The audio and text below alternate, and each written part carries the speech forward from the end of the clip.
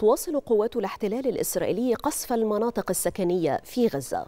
وشرق مدينة رفح جنوب القطاع تواصل طائرات الاحتلال الإسرائيلي غاراتها ما أسفر عن استشهاد وإصابة العشرات غالبيتهم من الأطفال. حرب الإبادة الجماعية التدميرية التي ينفذها جيش الاحتلال الإسرائيلي ضد قطاع غزة تتواصل في ظل ارتفاع متزايد بأعداد الشهداء والجرحى والمفقودين في مختلف أنحاء القطاع.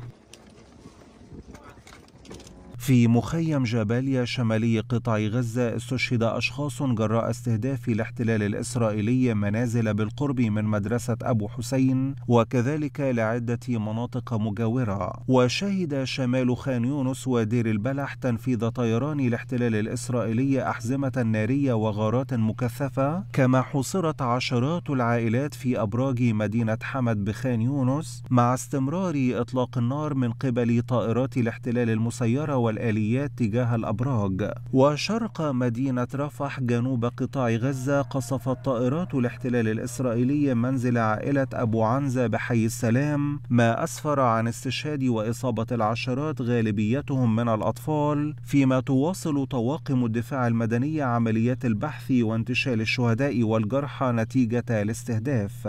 وفي هذا الصدد أعرب الهلال الأحمر الفلسطيني عن قلقه بشأن سلامة المعتقلين من طواقمه الذين ما زال مصيرهم مجهولا مطالبا المجتمع الدولي بضرورة التدخل للضغط على سلطات الاحتلال للإفراج الفوري عنهم.